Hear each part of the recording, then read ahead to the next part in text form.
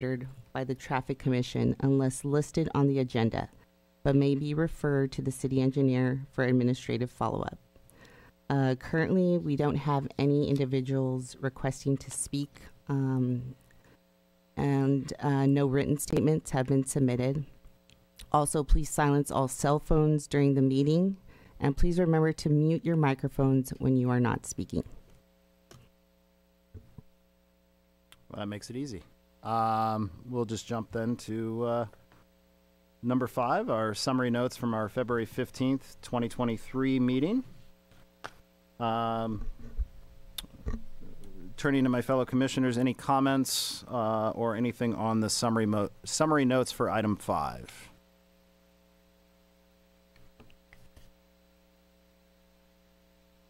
Around the table we go, hearing none. Um, we will no vote required. We'll go ahead and move on to item six.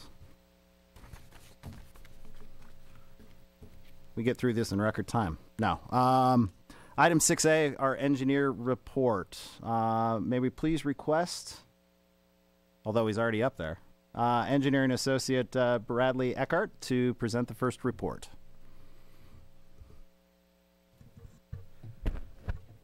Thank you and good evening. My name is Bradley Ackert. Tonight I'm going to discuss the proposed stop sign installations at 12 locations in the city. I'm going to start by identifying the locations and area of, areas of concern. I will show an example of these issues at one of the intersections, and I will follow up by explaining the public outreach and provide a staff recommendation. All right, so let's get into it. This is a vicinity map for the first location of Campbell and Fordham, which is southeast of Lynn and Janss, uh, Lynn at Janss Road. Here's a location map to help you get your bearings. Currently, this intersection is uncontrolled, meaning there are not any stop signs or yield signs for any directions of traffic. The proposal is to stop control Fordham in both directions at Campbell. Here is the vicinity map for the second location, which has the remaining 11 proposed stop signs. The Deer Ridge community is located southeast of Lynn Road at Wendy Drive. Here's the location map that shows where the proposed stop signs will go. Currently, all the intersections in the Deer Ridge community are uncontrolled, so no stop signs or yield signs. We are proposing to stop control the terminating leg at each T intersection. And just to clarify, we are not proposing a bunch of multi-way stop signs throughout the community, but rather stop control each terminating leg. Many of you are probably wondering why this is being proposed. The traffic division has some areas of concern at these intersections. Failure to, to yield the right-of-way is the most important one. If two people approach an uncontrolled intersection at the same time, many drivers are not sure who has the right-of-way. There is also impaired visibility at all these intersections, including corner landscaping, curbside parking, road curvature, and corner walls. I have researched the collision history for the last three years at all 12 intersections. There was a broadside collision at Homestake Place at Aaron Leah Avenue involving a northbound left versus an eastbound through. The primary collision factor was an auto right-of-way violation, which could have been potentially could have been avoided if a stop sign were present. There have not been any collisions at the other at the other 11 intersections during that time. All right, so I want to show you one of the intersections and the driver behavior that we're trying to eliminate. This is a street view photo of southbound Golden Crest at Aaron Avenue, showing current conditions with no stop sign. Here's the southeast corner of Golden Crest at Aaron. There's corner vegetation and a vertical curve. Here's the southwest corner of Golden Crest at Aaron Leah. Notice how close this intersection is to the intersection of Aaron Leah and Wendy Avenue. This is right where the right-of-way confusion comes into play. Drivers heading southbound on Golden Crest are not yielding to traffic on Aaron Leah Avenue, and this is the, the driver behavior that we're looking to eliminate. Public outreach was performed in advance of this meeting. A total of 161 meeting notifications were mailed out on April 20th. The reason we did ex such extensive outreach is that a lot of residents are concerned with the aesthetics of new signs in the neighborhood and may oppose the installation. Every stop sign installa installation comes accompanied with a 24 by 24 inch stop sign, a white limit line, and a white stop legend. Those three elements are the source of the aesthetic concerns for residents. The traffic division prioritizes, prioritizes safety over convenience citywide. There, the, there are three ways that the public could provide input at this meeting by attending it in person, participating virtually through Zoom, and to submit an email to, to staff. As of this moment, we received feedback from five res- or four residents in the Deer Ridge community, and they all opposed. And I had one from the Campbell and Fordham, and they supported the proposal. I want to provide a quick summary of the benefits of these stop signs. They will clarify who has the right of way, which will also have a benefit to cyclists and pedestrians. They will help mitigate this impaired sight distance. We will achieve consistency with best uh, practices policies. And then one thing that I want to point out is that they are not designed to control speeding in any way. So let's conclude with the staff recommendation. The staff recommendation is in the staff report, and that includes, concludes the presentation. We'll be happy to answer any questions. Thank you. Thank you, sir. uh, does the commission have any questions for staff? Sir. Uh, Mr. Eckert, um, thank you for your your report. Appreciate it. Um, on page two of, of your report, uh, to lead off the section on background, it says the staff received public requests for the city to consider the installation of stop sign control at 11 T intersections. Um, can can you explain or at least elaborate on the number of public requests that were received for the installation of the 11 uh, stop signs? Sure. So I originally got a request. I got one request for a golden crest at Aaron. And I went out there. I did a field check. I observed the same behavior that they were talking about. So I put that on the list. And then as I drove through the rest of the neighborhood, I noticed that none of the other uh, intersections had stop signs. So we weren't we weren't just going to do one and not look at the whole community. The other thing that I want to mention is if this were a brand new development that we're starting tomorrow and they're going through conditions, this would be conditioned for stop signs at all these locations. Okay, so but the originating request came for the the intersection at Golden Crest and Aaronley. That is correct. Okay. Any any other requests? And also Campbell and Fordham. okay, sure, but I, I'm just looking. We're at- talking Deer Ridge. Okay. Yeah, I'm just I'm just looking at Deer Ridge here. Um, were there any other public requests for any of the other ten stop signs in this community? There were not. Okay, thank you. Any other questions? Just, just a question about process. How does one make the request for a stop sign? And then part two, uh, from the city's perspective, how does this compare to other neighborhoods? Like this, this neighborhood, when when you're taking me through, it reminds me a little bit of my neighborhood, and I'm I'm curious. Um, you know, I know that there are limitations with staff to get out to every neighborhood and look at uh, everything, you know, uh, ahead of time. But how how does this compare to other places across the city, and is that, uh, you know, something that we're looking at as well? So we're not extremely proactive about them. I'm more looking for customers to call, send an email, initiate the request, and then I go investigate after that. Compare in comparison to other neighborhoods, there aren't a lot of neighborhoods in the city that are uncontrolled intersections. That's that's rare. So usually when I get a request for a stop sign, it's a two-way, and they're requesting multi-way so to add already to the existing. It's very rare that I have one where they request one and there's nothing. It's an uncontrolled intersection. So there's not a lot of there aren't a lot of neighborhoods that don't have stop signs. To answer your question, that's rare. Okay, and um, I do want to add uh, additional comments on that. Um, uh, this item that's before you, that where we're uh, recommending installation of stop signs at these T intersections or these uncontrolled intersections, uh, this is a practice that we've been bringing to the traffic commission, uh, probably since the commission uh, started in uh, you know the late late 90s. And so usually we've been bringing you know one report every year. So this is the report for this calendar year.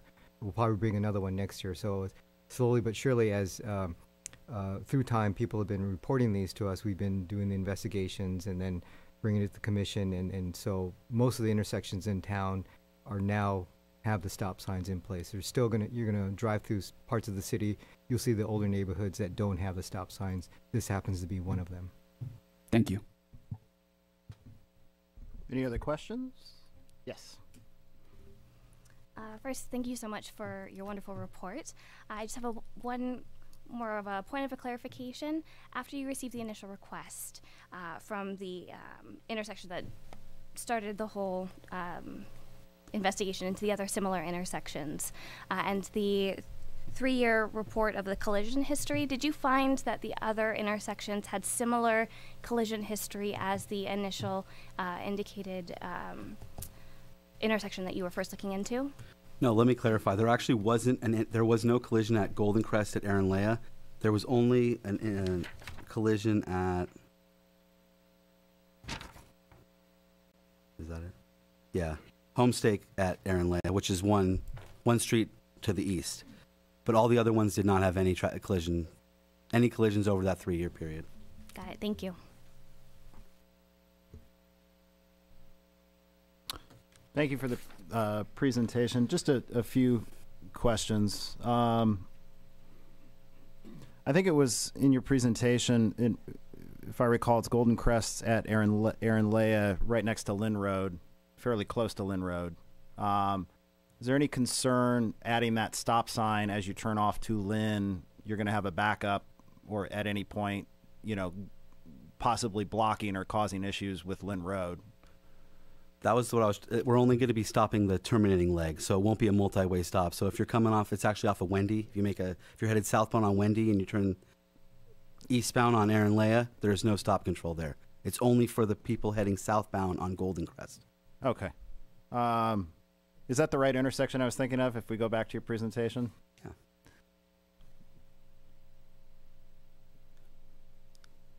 So this is Golden Crest at Aaron Leia, and then that's Wendy Drive that you see as the next intersection. Okay. Um, and then I believe uh, Mr. Mashiko kind of hinted at this. Is is this a situation where this neighborhood just happened to be? It's one of the older neighborhoods in the city. That's why when it was planned out, or um, it just does not have any controlled intersections within it. It just happened to be. It's just an older neighborhood. That's exactly right. Got it. Um, in terms of the public outreach, um, remind me what the requirements are or the guidelines that we use to do our public outreach. Is it within 500 feet of an intersection, or how do we tackle this particular issue? I mean, the numbers look good. I think you said 170 homes were contacted or, or residents, but I just want to get a better idea. So usually we go 500 feet from the crosswalk or the intersection, things like that. There's only two entry points to this community. You can enter off of Wendy, off of Aaron Leia, or Deer Valley, off of Lynn. So I went to everybody, every home in that whole entire neighborhood. Wonderful. Okay. Uh, anyone that it's going to impact. Okay. Um, I think that is all the questions I have. I'll turn over any. of- Yes, Commissioner Height. Just a comment about the, the presentation. I know you show us the map, and you know, if you look at like one of the, the Google Maps or whatever it is, I don't know how the other commissioners feel, but it would help to see the, the satellite photo of it, just to see how close and where the houses are in proximity to, rather than just the lines in the streets. You you understand what I mean? I do. Thank you. I will do that next time.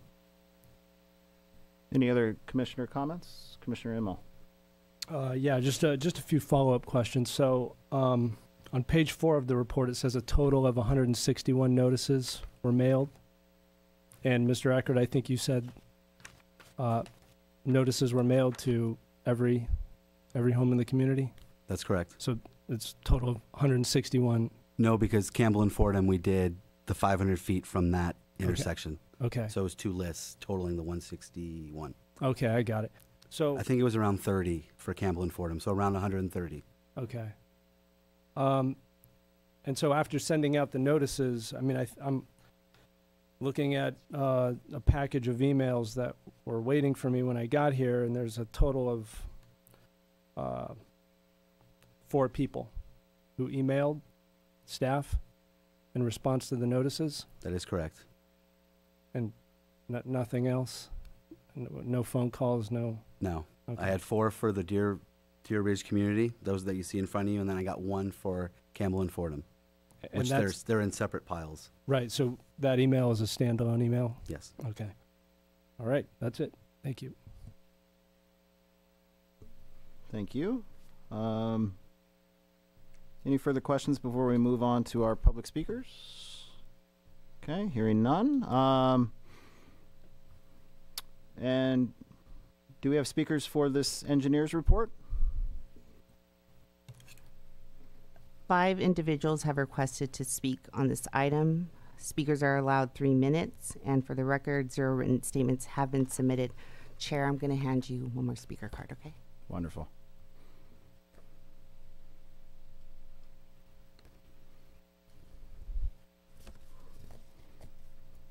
And before we move to our first speaker, just for clarification, all the written emails, all that gets put into the record as as far as just making sure it's kept together, right? Yes, that's that is correct. Okay. Um, okay, our first speaker is, and you, help, everybody help me with the last names. Um, Commissioner McMahon knows. Um, Diane Brand? Brandi. I was going to get there. Ma'am, you have three minutes.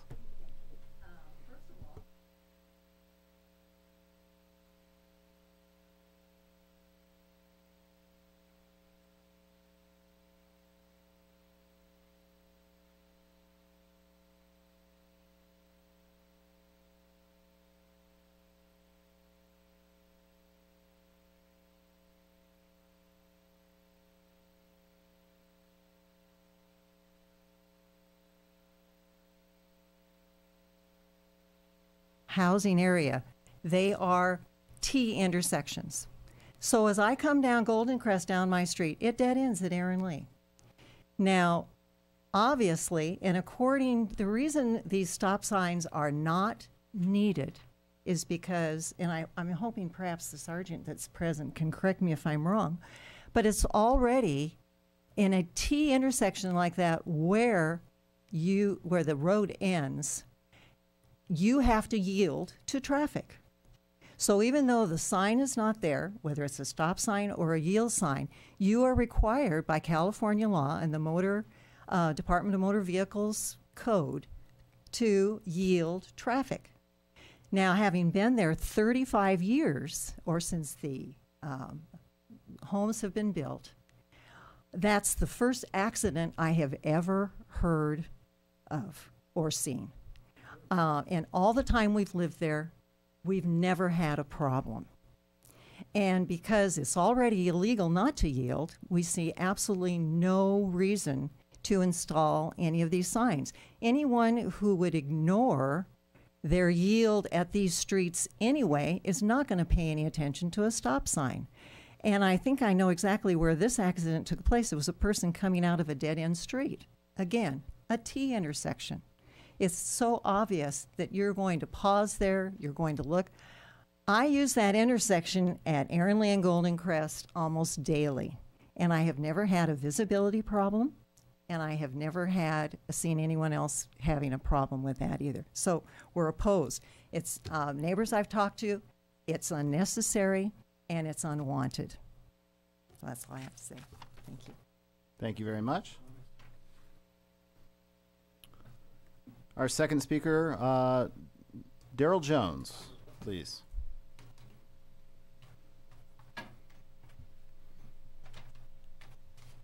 Mr. Jones, good evening. You have uh, three minutes. Okie dokie. Um, I've been in Deer Ridge since 91, so I've been there 32 years. Um, I was in and out of that place because I worked at Rocketdyne for 34, and the only accident I ever heard of was the one that this lovely lady brought up. We've never had a problem with any of the streets at all. Everybody goes down Antelope. I live way at the top of Antelope. It's a dead end. You come down Antelope to Golden Crest. You have the ability to ro- left, right, and then left again. You go down Aaron Leah all the way to Windy. You look left, right, left. There's really no reason to have these stop signs at all. I just can't figure it out. And if you really notice it, people don't really abide by the stop signs because I hate to tell you, there's not a lot of police out there watching it, so they go right through. they'll they, they don't even stop anymore. And uh, I have people that go down Windy and they take over the se- second uh, right in the center of the road because somebody's going too slow. But as far as I'm concerned, this I oppose it. This is wrong. I mean, you're putting all this kind of stop signs up, and then everybody you're going to have you can't park within a certain distance from the stop sign. So if you've got cul-de-sacs, where are the people going to park? Seriously. So I oppose it. Believe me, it's it's all wrong. My wife sent in a letter, so I don't know whether you're going to read any of the uh, emails that came in, but I think you should because there's a lot of people that oppose it. And the only one I hear is the one that's off of Janss and uh, whatever, but I oppose it. Thank you very much for your time. Thank you, sir. Uh, speaker number three is uh, Sharon McMahon. Hello, um, I live in Deer Ridge also. I'm here to speak as a resident of Deer Ridge. It's a small neighborhood. You saw, heard like what, 130 houses. Most streets are cul-de-sacs. 11 stop signs are too much. I hope you all drove through my neighborhood and did your due diligence and saw how small it is and quiet. I believe there was a complaint, and we just heard uh, about Golden Crest, where Golden Crest meets with Aaron Lee. Aaron Lee is a long street. It's got a steep downhill, and the section of Golden Crest is one of the few streets that goes through. It's not a cul-de-sac in that area, and it also gets traffic fed from a couple different streets into Golden Crest. So uh, I agree with the city that we do need a stop sign there. Um, uh, but our city staff is thorough. They always want to do the right thing. I know this because I've worked for them. I was there at where you're sitting for 20 years as a traffic commissioner. Uh, one stop sign for this one intersection is the right thing to do. More is not better in this situation. When, as as a previous uh, person said, when a cul-de-sac meets in a T with a through street, it is already in the vehicle code that drivers must yield to the larger street. There is no way that the police have the resources to sit and monitor these 11 intersections.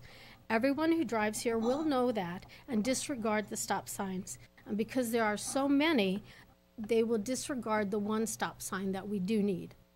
The one, and isn't it interesting that the only one that I think who lives there and is there every day that I think is needed is the only one that they gave you the example of. None of the others um, were there were an example of bad behavior. Um, I believe that 11 stop signs that will be disregarded and are unnecessary in this small neighborhood are also visual pollution. I also think that the cost to taxpayers for the installation and maintenance of these unwanted. You have one minute remaining. Okay. One uh, is unwarranted and unwanted expense. I think Mr. Mashiko and some of the other staff remembers the Pepper Tree Park parking situation. Again, staff tried to do the right thing for residents. It is a park with a lot of activity, a lot of sports, and parking is tough there. We had a hearing for angled parking. We could add additional parking if we angled it along Reino Road. It was a Wednesday night, just like tonight. A lot of people who work and who have kids didn't show up to tell us how they felt.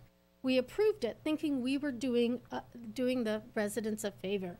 The result was a disaster. That neighborhood did not want it, and the city ended up taking it back to the way it was. So please only do what is appropriate and no more. One stop sign at the corner of Aaron Lee and Golden Crest is all we need. Thank you. Thank you. Uh, our next speaker is uh, Elizabeth Pierce. Good evening. Uh, you have three minutes. Good evening. Nice to see everyone. Um, my husband Jeff and I are um, also residents of Deer Ridge. We live at 3356 Mountain Trail Avenue. We've been there for five years. And we love the neighborhood. Uh, we are also against the stop signs. And the reasons are um, they're expensive to add. We don't need that additional expense, um, especially these days. Um, there have been no accidents except, like you were saying, I didn't know about that one, but I have never seen one in the five years we've been there. uh, it would need policing, which um, is an extra cost and takes place from other things that are more important. It's an eyesore. We don't need more stop signs. Um, it would take us more time to get everywhere, and if we're safe and responsible, we don't need that. Uh, which leads me to my last one, which it's a, an example of over-regulation, which we feel um, it would be. So um, we, again, my husband and I are uh, against the um, stop signs, and we live at 3356 Mountain Trail. Thank you very much. Thank you. Uh, I believe we have somebody on Zoom, if I'm not mistaken. Yes, we do have one online registrant, um, Rick Vittel. Rick, please click unmute and state your name and city of residence for the record. You'll be reminded when you have one minute remaining and again when your time to speak is up. Rick, are you there?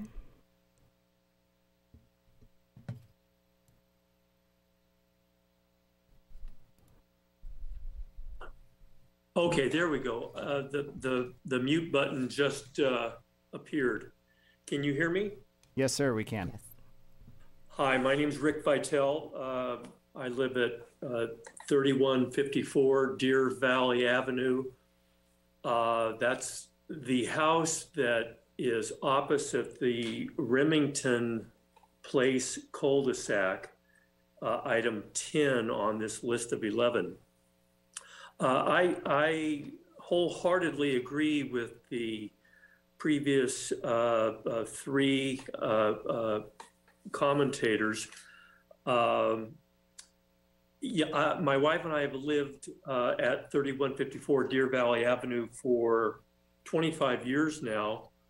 And from several rooms of our house, including the living room, kitchen, dining room, uh, den, we have a very clear uh, uh, visibility, uh, line of sight to that T intersection where Remington dead ends at Deer Valley.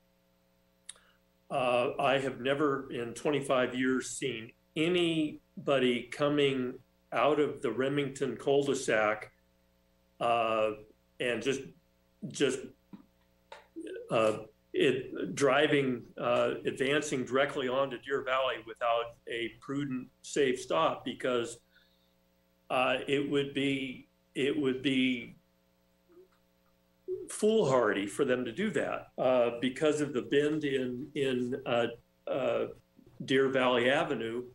They have to come to a full stop. They they can't even roll through there safely without coming to a full stop. So a stop sign at that particular intersection just seems totally unwarranted. And uh, I, I, I believe, although I don't have direct visibility of the other You have one minute remaining. I've, I've driven through the intersect, the development for 25 years. And uh, it, this just seems uh, excessive. I can understand uh, that uh, where Golden Crest uh, uh, uh, ends at uh, why that might warrant a stop sign, but I just don't think any of these other ones do. Thank you. Thank you, sir. Um, just to confirm, do we have any other speakers on this item? No other speakers, Chair. Thank you very much. Um, do we have any staff response to uh, our public speakers this evening? Uh, yes, yes, I have some comments. Uh, I was taking some notes based on what was uh, uh, mentioned by the uh, speakers. Uh, someone mentioned about the vehicle code requirement that um, you, as a vehicle approaching on the terminating leg, you do have to yield the right of way, um, whether it's posted or not. That is correct. Um, however, uh, the, the issue that we're, we're looking at is the behavior is that, okay, are, although it's not posted, uh, stop signs would serve as that daily visual reminder to drivers that, um, you know, if they're rolling through, they're they're they're not stopping at all. Uh, that what the vehicle code uh, regulation is that you do have to yield the right of way uh, versus if it's not posted, they don't get that daily reminder. And it, this is going to benefit uh, the um, uh, bicyclists as well as pedestrians who are approaching at that intersection. Uh, the issue that we look at from an engineering perspective is the line of sight. Uh, our engineering standard that we're looking at is to be able to see about 275 feet based on the 25 mile per hour speed limit of these residential streets. Um, and if you look at page three of the staff report, we list every intersection that we're, we're considering tonight. And it lists um, on the second column the cause of visual impairment, whether it be landscaping, parked vehicles, uh, road curvature. Um, and then we identify on which corner of that intersection that Im- impairment is located. So we drove out to each of these locations to see do we have that 275 feet of un, um, you know clear line of sight, and in each of these cases we found that we did not have that 275 feet that we're looking for. Um, someone mentioned that these stop signs, once you know, if they were to go in, parking would be eliminated. Uh, that is not the case. The stop signs will be placed um, on the corners where most of these locations already have a street name sign. So what we would do is um, elevate the height of the street name sign, post the uh, stop sign right below it. We will then add a limit line and then a stop uh, pavement marking to to that terminating leg. And so I think that concludes the comments. Thank you. Just to confirm, any, any other staff members? No. Okay.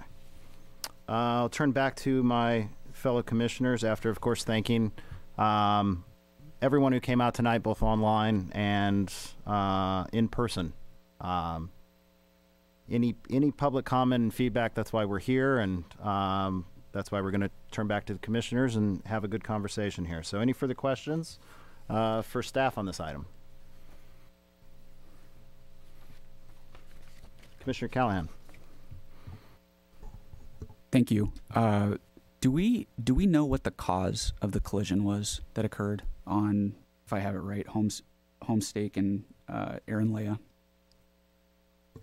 The primary collision factor was a right-of-way violation. Yeah, which is driver failing to yield. Okay, but was there any additional context to that, such as distraction from a device or any other information that was provided in the the report? Not that I can remember. No. Okay. Um, is it safe to assume that there's a concern, you know, especially where this neighborhood is? You know, we all know Wendy and Lynn are, you know, higher speed main roads. Is the primary concern from staff that as you're exiting, uh, you know, those roads, you're going at a higher velocity, and then all of a sudden you're entering a neighborhood where children are, and um, i you know, there, there's a tendency maybe to be going through the neighborhood at a higher clip. Is is that is that what's prompting, uh, you know, this discussion? Uh, no, ba- basically, I, I uh, may have mentioned it earlier uh, that you know we're just looking at engineering factors at, at this lo- these locations, and we're looking at that visibility. So if you're approaching f- uh, from the terminating leg, you know, do you have a clear line of sight? Um, and as if you were not going to stop, of um, you know, traffic on the the the through street or the what's considered the major street. Um, and in each of these locations, we did not find that uh, line of sight that we're looking for. Is it safe to assume behavior, though? You typically see cars entering a neighborhood at a higher speed coming off of roads such as these. Um, yeah, I think it, it varies depending on location and, and you know where they're going to in the neighborhood. Uh, but usually there's always a a report that a vehicle as they enter from the major street into the residential street, there's always that concern that you know they're they're still in the in the mode of driving at a higher rate of speed. Yeah, I guess I guess what I'm trying to to balance. My final thought is what I'm trying to balance is you know what what we're hearing from the speakers, and then um, you know what what the engineering report and and guidelines are saying, and you know if to me if if, if there is some middle ground where a stop sign is put at the immediate you know, uh, spots there that have been discussed. Um, you know, that, that first installment coming off of Wendy and coming off of Lynn um, is enough to slow a car down and have someone have the awareness that they're entering, entering a neighborhood. Um, it's not really a question, it's a comment. So I'll conclude. Thank you, Commissioner. Other Commissioner comments, questions? Um, as a general question, I know we mentioned stop signs are not a speed control device. Uh, can we just get a general consensus as to why why stop signs? You know, why would you choose to put a stop sign? Not even in this particular instance, but what do we use stop signs for? I guess broad question. Yeah, according to our you know engineering manual, the California um, Uniform Manual of uh, Traffic Control Devices, uh, basically stop signs are used to regulate right of way at intersections. So that's exactly what they would be doing in, in these um, at these locations. Okay. Um,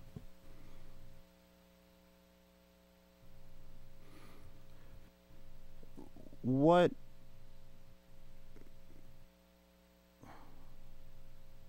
I guess did staff consider um, because we for you know some of our public comment people have attested to uh, because for many many years these folks have been living in these neighborhoods and driving these streets and having uncontrolled essentially uncontrolled intersections was there any other consideration or any other alternatives given or thought of by staff before moving to something like a stop sign and i'm just throwing it out there again i'm not an engineer but coming back to the vehicle code uh, if we're looking for a daily reminder to yield versus a stop sign, would a yield sign be more appropriate? Because you can essentially put a stop sign there. It doesn't, it obviously changes the nature of that intersection and removes that vehicle code from really being there. But if we're looking for a visual reminder, would a yield sign be more appropriate versus a stop sign? Yeah, yield sign could could be used. Um, however, um, that's where it's uh, s- sometimes the yield definition might be a little bit ambiguous to to drivers, um, especially with the, the at at the corners that we identified in the staff report. You know, there's there's the vegetation. There's could be parked cars. There's uh, road curvature, things like that. But uh, with a stop sign, it's it's it's clear that you know uh, to avoid any conflict we, we, we prefer vehicles do stop before they do enter the intersection so they avoid um, you know the conflict because they may not see uh, a vehicle that's coming you know down the street because they, they couldn't see it because of the tree there or there's some shrubbery or thing, things uh, to that effect Okay. hmm Um, and I guess maybe I'll go to the sergeant for the question, but what is a driver supposed to do in a yield situation? Give it to me. Give it to me like you pulled you pulled me over, and want to explain it to me. Uh, what what am I supposed to do in these situations? So you, when it comes to yielding, the main thoroughfare, the main road has the right of way. The terminus road has to yield to it. So it would be depending on the size of the road, but these are basically cul-de-sacs that come down there. So it would be yielding to the vehicles in motion on the larger thoroughfare first. So I should be coming to the particular intersection, slowing if not coming to a complete stop while I gauge. Uh, I gauge the main thoroughfare, and then based on that, choosing to, you know, Proceed. proceed. Yes. Correct. Okay. Thank you. Um, and I guess I just want to point out for also my fellow commissioners, we also have Campbell Avenue at Fordham, which is not part of this neighborhood. Um, I mean, a different different portion of it, but uh, we do have that other issue, which is actually a four-way stop. Correct? And I guess I, coming back to looking through this, that was my initial question. I was concerned about Campbell and Fordham being so close to Lynn. Was there going to be any, was there going to be any traffic that pushed pushed out to Lynn, or any concerns with the amount of traffic coming off of Lynn, um, where that stop sign would be an issue? Um, at that, that particular uh, location, I believe it, it would uh, proposing it to be placed on Fordham Avenue, and on that Fordham leg that's by Lynn, that that um, street is closed off. There's a there's a block wall there. Oh, you- that's You right. can't access uh, Lynn Road. That's right. Mm-hmm. Um, But with yeah, four legs, all four legs. There's no sign, no indication who should be yielding to the other person. Um, yeah, there's there's been there could be you know more frequency of issues of confusion as to who should be yielding. Okay, thank you. Um, one final stop for any additional questions before I close the public hearing. Okay, uh, at this point, I'll go ahead and close this item to public comments. Uh, open it up to uh, discussion or a motion this evening. Commissioner. Thank you, Chair. If um, if I could just go ahead and maybe kick off my my thoughts about uh, really the Deer Ridge uh, community in terms of the 11 stop signs. So I'm just trying to be a pragmatist here. Um, this community doesn't really seem to me to be like a pass through community where people are shortcutting through it to avoid uh, larger roadways like Lynn and Wendy. It seems to me that this community is pretty isolated. Um, most of the people who are going to be coming into and going out of this community live there. Um, they know their way around the neighborhood. They know when they're supposed to yield.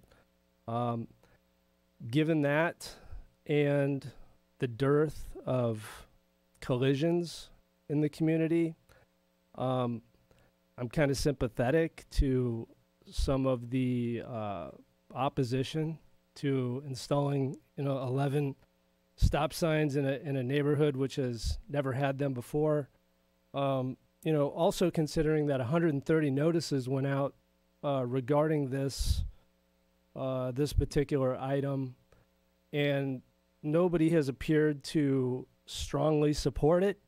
More stop signs, but you do have several people showing up to say we don't really need it, and I'm kind of inclined to trust their judgment on that because they're the residents in the community.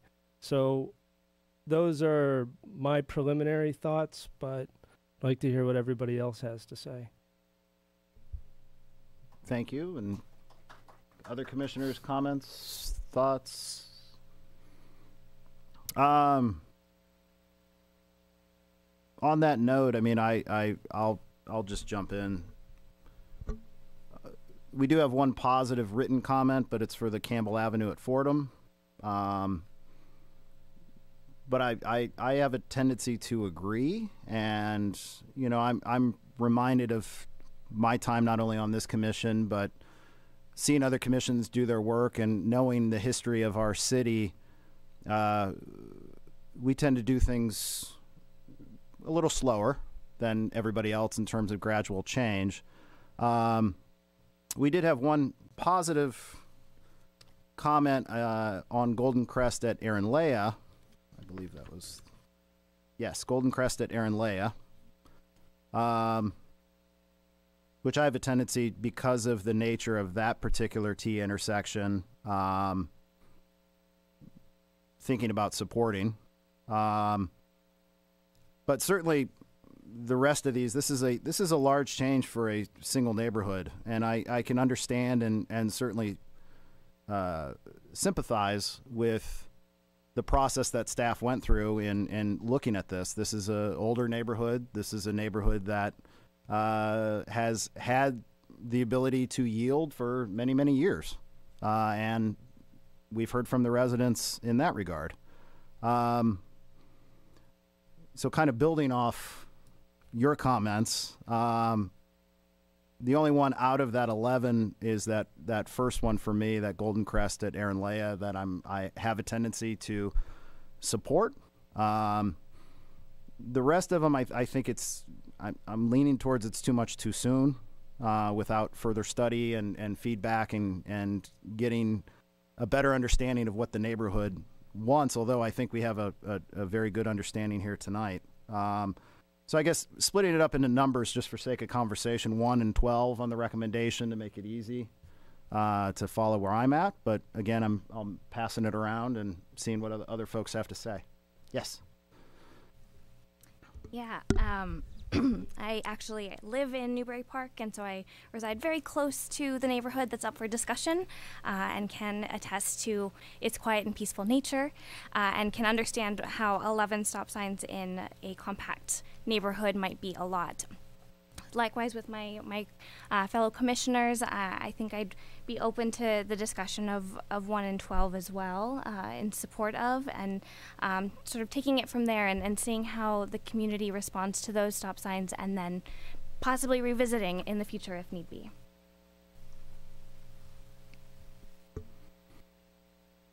Commissioner Hayek. I just I want to go back to something you said. If we built this neighborhood today, each of those each of these locations would have a stop sign, correct? Yes, that is correct. That's our current practice. And somebody had mentioned something about cost. Not that cost is a strong factor, but I'm just curious, what does it cost to put in a stop sign?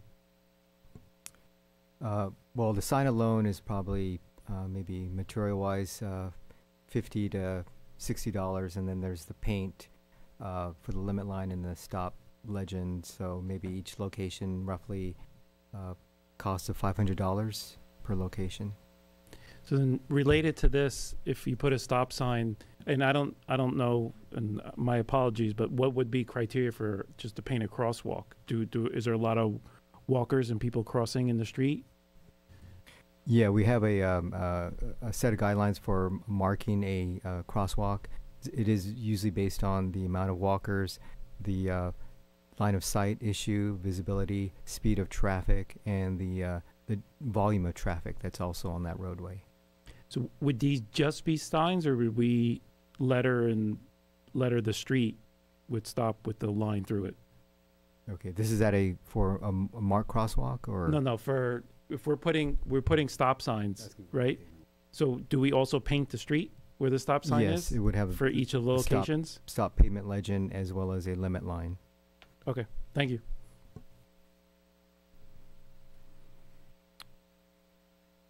Commissioner Callahan. I think I, I let my thoughts be known in the discussion a little bit with, with my comment, but um, I, I think the staff, uh, I think you guys are coming from a good place on this, right? I think you're coming from safety, um, and I, I appreciate the residents coming out and speaking. You, it, it's noteworthy if, if you've been in the uh, neighborhood for 35, 32 years, as some of you mentioned, you know uh, what's going on um, on those roads.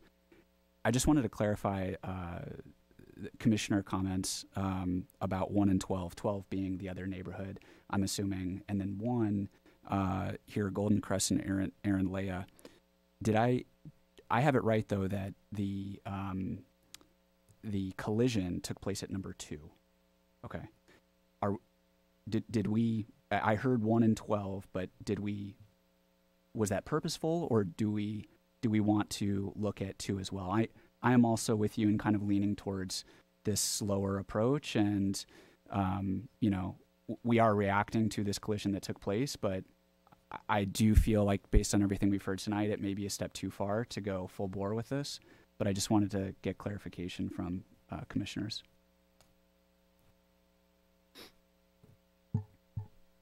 Yes, Commissioner. Um, just to follow up on uh, Commissioner Callahan's comments, I, you know, I, I want to acknowledge that the city staff is motivated by public safety, as should we, um, and and that's to be appreciated.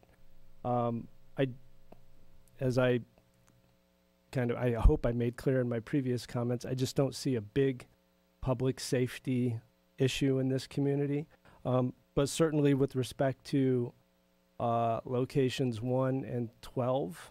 Um, I don't think I really have an objection to that. As far as location number two, where the collision occurred, um, I mean, my thoughts on that, whether right or wrong, is that that was kind of an anomaly, um, and that that collision could have happened at any one of these intersections, and it just um, unfortunate. But certainly, by no means is it um, a likelihood to to happen again. But I do agree with location one with the proximity to Wendy that um, maybe some some more care should be afforded at that particular intersection just because of the location. Yeah.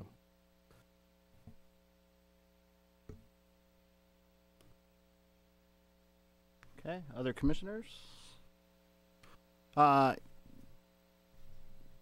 yeah, in, in, in response, I mean, I can understand uh, number two. Um, and if it seemed to be, if it was a different intersection, maybe that you was coming really close to Golden Crest or one of the major entry points off of Lynn or Wendy, um, where there's maybe higher traffic counts, I'd have a tendency to add to. But I really think that that intersection and that, that incident was a was an anomaly. Um, I I have a tendency to agree on that. Um, you know, and my my thought is that if we take this more measured approach, this is not the end of the road in terms of possibilities for the particular neighborhood. Uh, I think we heard at the beginning of the presentation that uh, this is a yearly kind of stop sign installation action item. This is something that, for my fellow commissioners new on the commission, you'll hear uh, a few times over the course of your term. And considering the nature of the cost involved, you know, this isn't something that is going to be a, uh, you know, this is a minuscule budget item in a large scale public works budgetary process. This isn't a traffic light that costs thousands of dollars. This is a $500 uh, uh, intersection. So this is something that I think we can explore down the line if there is uh, study and traffic counts and neighborhood feedback to revisit. Um, so I, I'll actually go ahead and um, make the uh, the motion, um, and then we can we can take it piecemeal from there if we need to. Um, but my motion will be to consider the staff report, receive public input, and recommend to City Council adopt a resolution designating uh, numbers one and number twelve.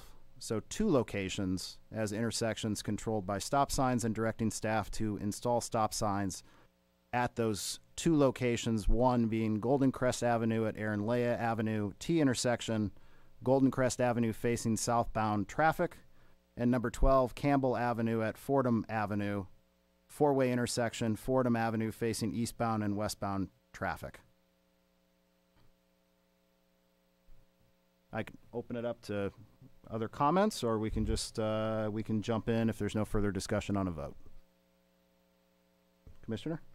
Chair, I, I would support that motion. Okay. Hearing no other comments, uh, I'll go ahead and ask uh, Mrs. Vasquez, please call the vote. Commissioner Amell, Yes. Commissioner Callahan, Yes. Commissioner Orozco, Yes. Vice Chair Hayek, Yes. and Chair Pletcher. Yes. Okay, motion carries five to zero. The Traffic Commission makes recommendations to the City Council, and interested parties may attend the City Council meeting and speak either for or against the recommendation of the Traffic Commission. Any person wishing to appeal a decision of the Traffic Commission shall file a written appeal and pay an appeal fee with the City Clerk Department within 14 calendar days of this decision. The matter will be referred to the City Council at the earliest reasonable and available date. The appeal fee will be refunded only if the City Council overturns the Traffic Commission's decision. An appeal form is available from the recording secretary. Thank you, Mrs. Vasquez. And I want to thank, uh, again, everyone that came out tonight, the public speakers. Um, you know, as Mrs. Vasquez just mentioned, this will go to City Council for final approval. So uh, I will say the road is not over here tonight. Look for it at City Council, and please um, continue to voice voice your uh, opinions. So thank you. Um, moving on, next we have a second engineer's report. That's uh, information item um, to be presented on item 6B Rancho Conejo Biotech Area Sidewalk Project. Um, engineering Associate Razavi. Did I get it right? Yes. Second time. The floor is yours, sir. Thank you. Good evening. Good evening. Thank you, Chair Pletcher and members of the Commission for the opportunity to provide you with this update on Rancho Conejo Biotech Area Sidewalk Project. My name is Masood Razavi, and I'm an engineering associate with the Public Works Department's Capital Projects Division. As you see in the presentation, the main project objective is to make the area more pedestrian friendly. The city has an ongoing program to construct sidewalks throughout the community to improve pedestrian mobility, and Public Works Department maintains a planning document that prioritizes incomplete sidewalk locations throughout the city, which is based on several factors, including pedestrian traffic volumes, proximity to schools, and road classifications. These, these project locations rank among the top locations identified in the need, in the need for pedestrian enhancements. The project is located in the Rancho Conejo Biotech area of the city, which is generally north of 101 Freeway and west of Rancho Conejo Boulevard. As part of this project, we'll be installing incomplete sidewalk segments within the project limits, retrofitting existing curb ramps to meet ADA requirements, and providing enhanced crosswalks. Lack of sidewalk in the proposed locations causes pedestrians to walk in the street through dirt or landscape area. The incomplete sidewalk sec- sections are located on Teller Road, Lawrence Drive, Hillcrest Drive, and Corporate Center Drive. We'll take a closer look at each section, segment and show you a comparison between the existing conditions and the project's proposed enhancements. The first segment shown here is Teller Road from Lawrence Drive to Marion Street, which is approximately 1,000 feet. Proposed sidewalks will be on the north side of the street, shown in red.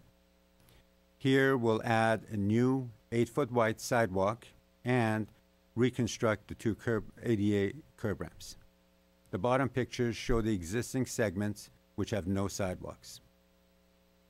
Moving to segment two, we have Lawrence Drive between Hillcrest Drive and Teller Road. Here, we'll extend the existing sidewalk on the west side of the street to Hillcrest Drive. We'll add a mid-block crosswalk and add a new street light at the, at the crosswalk. Segment three is Hillcrest Drive from Mitchell Drive to about a thousand feet west of Lawrence Drive. The aerial map highlights the proposed improvements and the photos show the existing condition.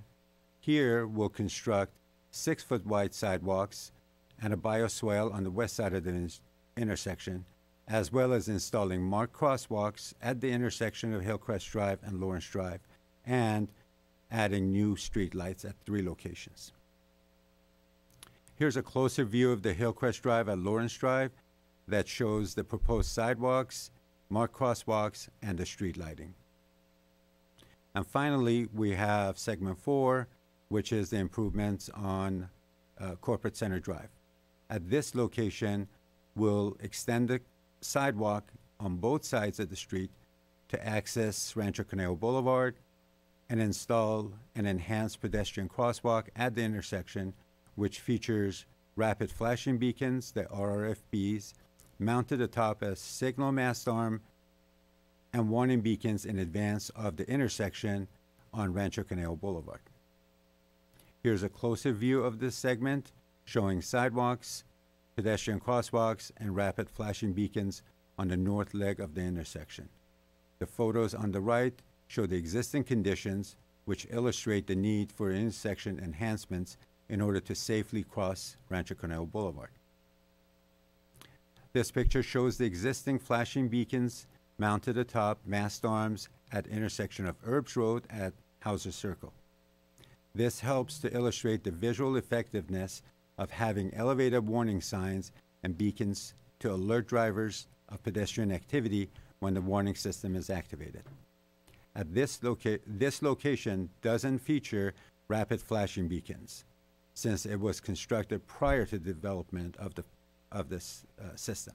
However, we make it practice to incorporate the most current technologies at newly constructed enhanced crosswalks by featuring rapid flashing beacons at the crosswalk, advanced warning beacons ahead of crosswalk, yield pavement markings, the shark teeth, and fluorescent warning yellow lights, yellow signs. Um, this is an example of an advanced warning beacon set several hundred feet before the enhanced crosswalk. These warning beacons can be equipped with a single LED light shown on the left or a double LED shown on the right, which blinks alternatively to get the driver's attention. For this project, we're looking to use the double LED option due to the width of the street as well as the speed of traffic. And this photo shows the type of yield pavement markings and yield to pedestrian signs to be used at the crosswalk on Rancho Conejo Boulevard. The project includes funding, um, the project funding includes $1.6 million from federal funding uh, from COVID Relief and Recovery Supplemental Appropriation Act, CRRSAA. Uh, this is the first time we're receiving this type of grant, and $1.6 million from general funds. The project is currently in the design phase. We anticipate completing the design by summer of this year and submitting the project for Caltrans approval and fund obligation in spring of 2024, with construction targeted to start by fall of 2024. Our community outreach will focus on the businesses adjacent to the project through the methods listed, as well as door-to-door outreach after 90% design completion. Recommendations are listed in the staff report to receive project information, receive public input, and provide feedback. This concludes our presentation for Rancho Conejo Biotech Area Sidewalk, and we'll be glad to answer any project-related questions. Thank you. Thank you. Um, do the commissioners have any questions for staff? Commissioner Hayek. Some of the photos had trees pretty close to the street lines. What happened to what happens to the trees that are in the way of where the sidewalks would go? Um, we have a, our consultant is providing us with a tree report. Um, we, I believe we are, um, we would be eliminating two trees. Um, but in the bioswale that I mentioned on Hillcrest Drive, we'll be planting trees in the, in the bioswale as well. Um, and on Teller Road, we'll be using um, uh, tree planters in the sidewalk, three by three planters in the sidewalk. Thank you. Other questions? Commissioner Callahan. Just to piggyback on that question, is it is my assumption right if essentially you're you're narrowing the road to create the sidewalk rather than it seemed like there were more than two trees um, in in one of the photos. It looked like there were five at least that would need to be removed. Um, is it is it the the road does look pretty wide? Is is that what's happening? You're just putting the sidewalk further in. We are not moving the roadway. We're not getting into the roadway. Okay. We're going to stay within the city's right of way behind the curb. So we are, we will be repairing the curbs at the sections that need to be repaired, but we're trying to um, keep the costs down and keep everything behind. Um, yeah, the pictures are to an extent deceiving. Um, I've been out there with tape measures and they are outside. Um, we've had our city um, landscape division out there and we've looked at it and we're, we're going to be paying very close attention, especially in, on um, Rancho Conejo, um, on um, Corpus Center Drive. Some of those trees are kind of too close for my comfort, but uh, um, our consultant will give us all of that information. Thank you. Thank you. Other questions? I'll just say thank you for the presentation, and um, you know I just want to compliment city staff on getting that extra federal, that VCTC federal funding. Um, staff always works so so incredibly hard at getting that extra pieces of funding, so I want to thank you. It's a lot of work. Um, certainly noted and uh, appreciated. Um, just to drill down on a, a couple points just because I, looking at details on the Hillcrest section, um, can you tell me just what is a, a bioswale? Kind of a newer term. I apologize, I don't have a picture of it here, um, slide for you. Uh, a bioswale is, uh, in this case, it's going to be 12 foot wide um, section that's going to be dug in. So if, if you were to look at a, um, if you look at a, look at it, it's just simply, it's a ditch that is covered with um, plant material that will survive. And it's, and it actually uses, we use that to be able to treat uh, the runoff, the stormwater runoff. Um, on Hill, the reason we're using it on Hillcrest is because the, um, especially on the west side of Lawrence, is because all of that water from the runoff from the parking lot just simply goes into our storm drains. It doesn't do anything. It comes into the street and into the storm drains. This way we can treat that water before we, um, we try to get some infiltration in there. I think that's an absolutely fabulous, uh, you know, design addition and concept. I've actually now that you've kind of defined it for me, I've seen it in some planning magazines and and seen it used before. I think it's a great great addition. Uh, Um, if I can just add a little bit to that, uh, Nader Heydari. Yeah, we're trying to incorporate that into all of our new projects as a best practice, best management practice to incorporate stormwater pollution uh, control, stormwater treatment, and uh, retention where we can, and uh, in this case, um, um, and infiltration where possible, which isn't always possible in town, but at least as the water passes through the bioswale, the biological contact with the plant material helps eliminate some pollutants, and also you get some settlement of any debris or you know paper cups or something that may be in there that can be caught there before it goes into the waterways. So that's uh, something new we're we're trying to incorporate on uh, every project we have, and which we did uh, recently on Willow Lane. Willow Lane has one uh, as you're driving about halfway down it. Uh, it's a smaller one, but it's a more of a linear one. And then we also have uh, also one on Lawrence Drive and Teller. So it's a newer element, and we're we're keeping up with the times. So. Well, I think again, I think it's a, a great addition. Um, you had mentioned you had the slide about the uh, the outreach. Is there a target? Perhaps I missed it, and I apologize if I did. Is there a target time in which the outreach will begin for the businesses? Um, we just got the public website up, the project website up.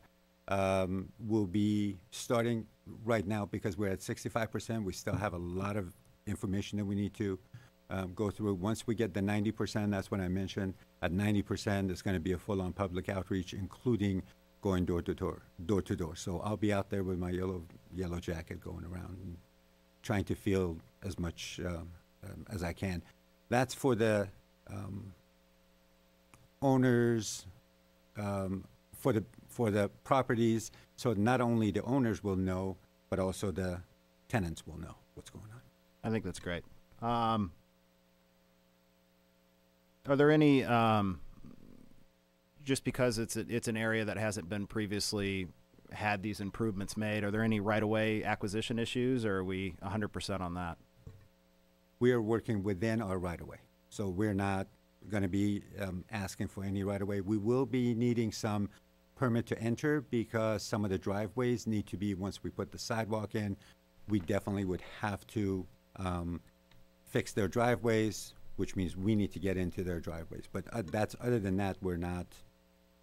We're trying to stay away from it. That's that's a bigger red tape with Caltrans than I wanted it to be. A hundred percent. I I've I've done a few of those on the legal end in the past, and they're they're nothing but a headache. So I, I'm glad you guys are working within your already established right away. Um, I had no further questions, but I'll turn it back one more time to commission before we move on. Yeah. I'll move it. Um,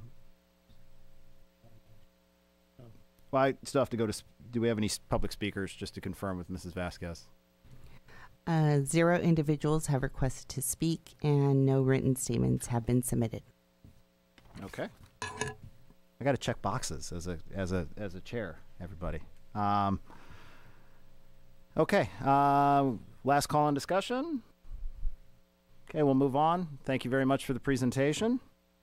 Uh, we will move on to item six uh, reflective traffic signal backplates at 32 intersections adjacent to the 101 and 23 freeways. Uh, report by Associate Engineer Robert Sweeting.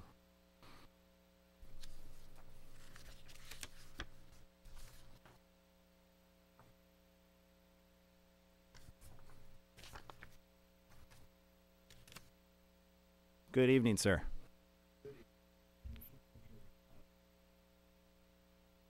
There we go. Good evening. Um, I will be given the staff report regarding the reflective backplates on traffic signals. Um, my name is Robert Sweeting. I'm one of the engineers here at the City of Thousand Oaks in the Public Works Department. So the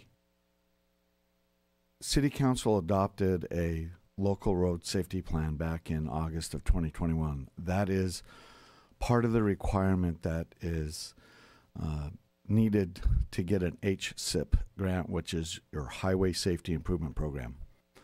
Um, and that is to help develop uh, areas uh, within the community uh, to improve commuter uh, bicycle pedestrian safety um, data was collected, and one of those safety items that was identified was to put in yellow reflective back, t- excuse me, back plates on uh, 32 of our 136 traffic signals. So, as part of that HSIP um, program, uh, it is uh, administered by Caltrans and it is to help local agency reduce their costs of doing some uh, significant reductions in traffic fatalities, uh, serious injuries on the public roadway. Um, and this project was approved uh, by Caltrans as a, an appropriate action to take. So, what is the benefit of a re, uh, reflective backplate? It is to enhance the visibility of traffic signals during inclement weather, daytime, nighttime. It is also for uh, easier for older and colorblind drivers to identify the traffic signals. It does help reduce uh, collisions by 15 to 24 percent. Um, it is also easier to recognize a dark signal when there's no power due to traffic collisions, uh, traffic control that may be implemented, uh, other ro- road work, or Edison uh, public safety uh, power shutoff events that have occurred from time to time. So I do have a few slides to show you to kind of identify those backplates. So in this photo, you'll see in the center uh, there is a traffic signal with no backplate. To your right and left, you'll see signals with a backplate. So what that does is it helps give a background effect uh, to to help identify the signal indication. Kind of gives it some depth perception to it. So what the the reflective back uh, plate is is a yellow reflectorized two inch piece of basically border tape that goes around the outer edges of the back plate. Here's a local road out at uh, the 101 northbound uh, off ramp at Wendy Drive. You can see in the background that there are some yellow where the red circles are. There's some uh, reflective back there. On the near ground or the near side at Grande Vista, there is not any yellow uh, tape.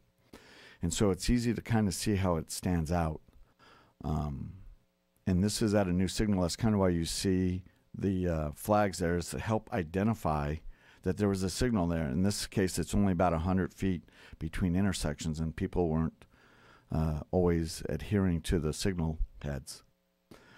So we had had some uh, compliance issues out there. We had tried multiple other things to install, and then we added uh, the reflectorized tape as you see here. So if you go back, here's the before again, here's the after. You can see how the yellow uh, tape helps bring to your attention, and our compliance rate went down significantly at that particular location.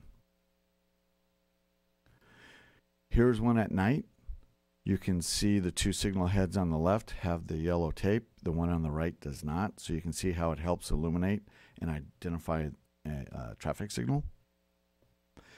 Here's one actually about a week ago out at Olsen and the 23 uh, southbound ramps that even during the daytime, uh, the power was off at this location, and you can see how it still frames the signals where you can see um, that at you know at a signal when there's no power, and no um, indications that it becomes a multi-way stop.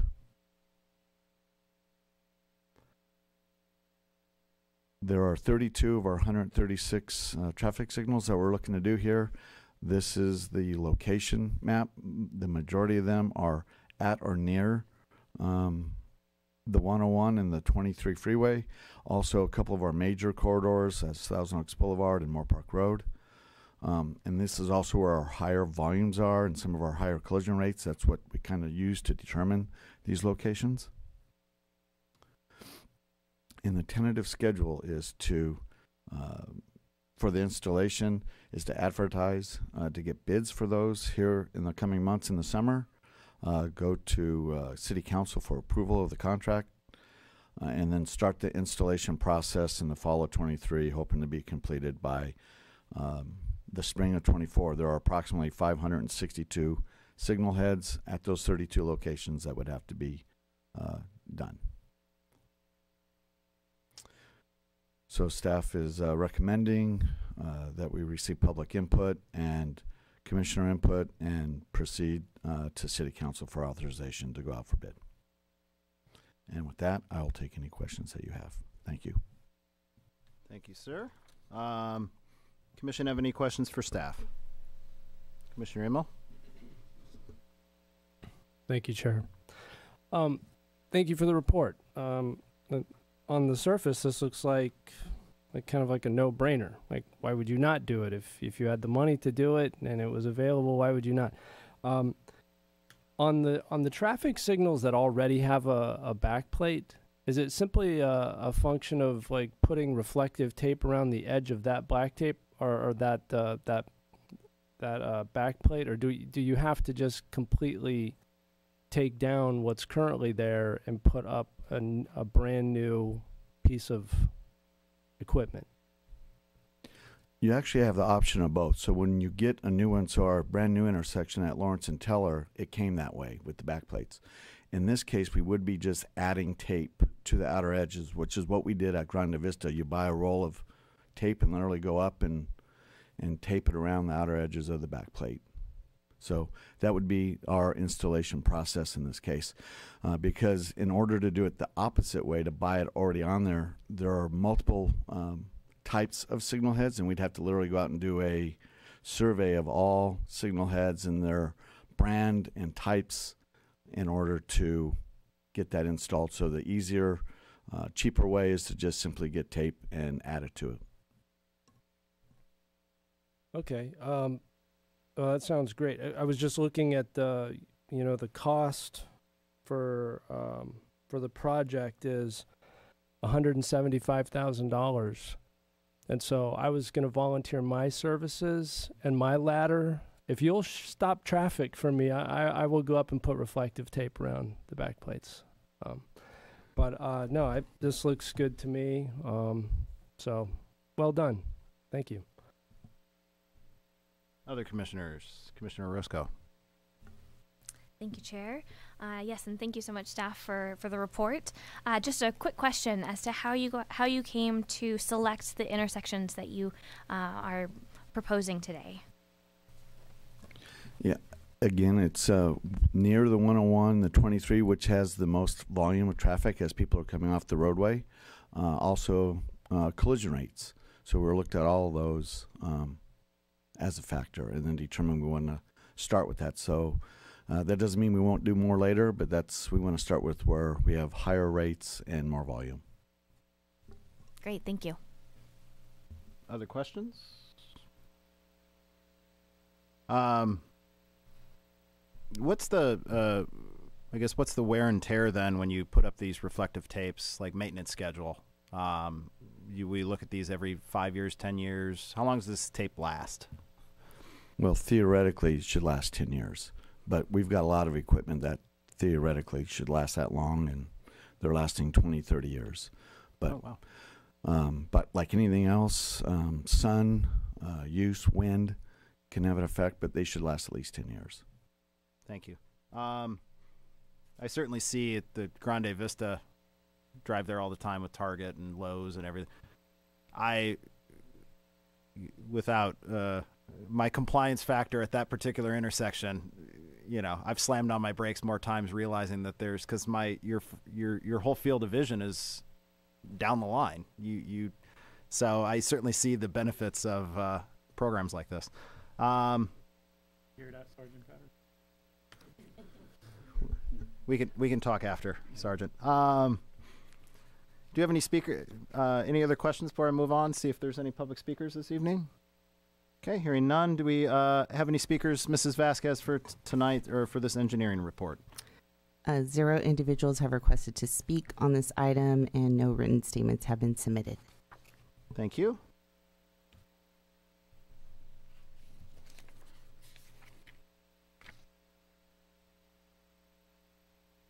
Uh, any further questions for staff?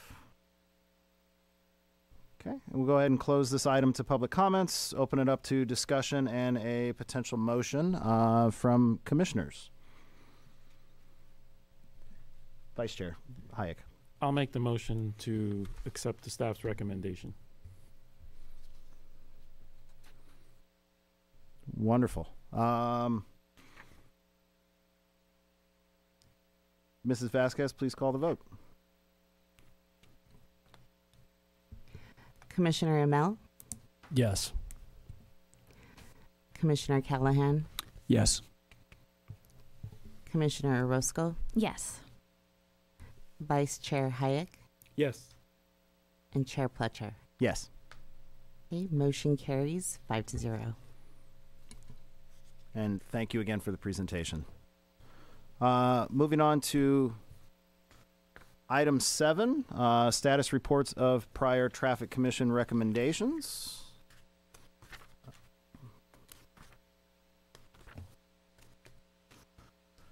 Uh, everyone sees, unless staff had anything comments to add, I'll just point out. Uh, oh, Mr. Mashiko. No, no, no additional comments. Okay. Um, traffic commission date obviously changed. 5-0 vote from the city council on March 14th. Uh, yes. I just want to say thank you to the commission for agreeing to move the dates and the city council for approving. Um, I had put in that request um, because our school board meetings conflicted with the traffic um, commission meetings, so I appreciate it. Thank you. It's kind of a roundabout schedule. The school board moves because of this. No, never mind. Um, uh, moving on to item eight, commission referrals from February 15th, 2022. We have none. Um, item nine, work program and commission schedule. Um, looking at future agenda items. Any questions for staff? Okay. Hearing none. Uh, moving on to item 10, our traffic commission comments. Um, open comments. Okay. Um, moving on, item 11, future meetings. Uh, discussion and possible cancellation of the May 24th, 2023 meeting. Um, obviously, we have no hot button topics. Thinking of, okay. So, do we need a motion for it, or what do we need, Mr. Assistant City Attorney?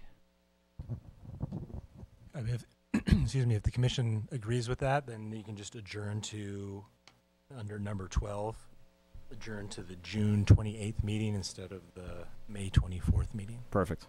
I thought so, but I always like to check with the boss. Um, we'll go ahead and move on to item 12, adjournment. The uh, next meeting to be held at 6 p.m. on June 28th, 2023, in the boardroom of the Civic Arts Plaza on the third floor. Good night.